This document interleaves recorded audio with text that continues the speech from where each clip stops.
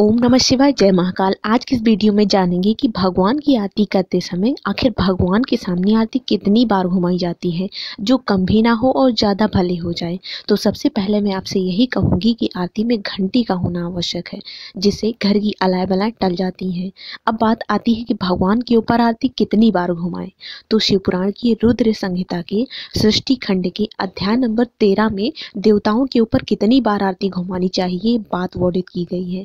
तो उसमें कहा गया है कि आरती भगवान के ऊपर चौदह बार घुमाई जाती है। तो चौदह बार कैसे घुमाए? तो वर्णन किया गया है कि सबसे पहले भगवान के चरणों में चार बार आरती घुमाए, फिर भगवान की नाभि के सामने दो बार घुमाए, फिर एक बार भगवान के मुख पर आरती घुमाए और फिर सात बार भगवान के सिर से लेकर पैर तक गोल गोल घुमाए।